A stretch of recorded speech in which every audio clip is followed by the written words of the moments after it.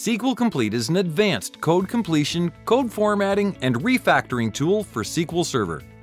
In this video, we will show you how easy and simple it is to format SQL files from the command line, and how SQL Complete can be used in continuous integration to automate the process in PowerShell.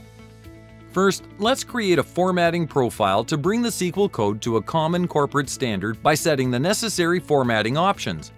Now, using dbForge source control, we will commit the procedure, which should later be deployed on the target server.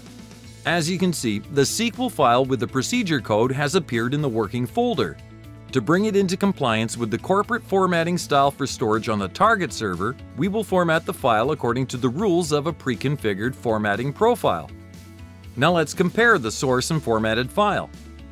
It's easy to see that the code in the formatted procedure has been brought to the corporate standards for storing objects on the server.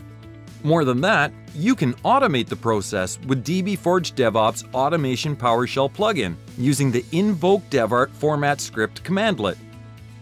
As you can see, after executing the commandlet, the resulting SQL file with the procedure code consistent with corporate standards was generated. You can then add this file to the NuGet package and place it in the NuGet repository to share with your team, organization, or customers. So in this simple way, you can format individual SQL files as well as entire folders with SQL files, bringing them into compliance with the code standards adopted by your company or organization. Try SQL Complete for free at devart.com and see how it can trigger your productivity and save you from nasty errors.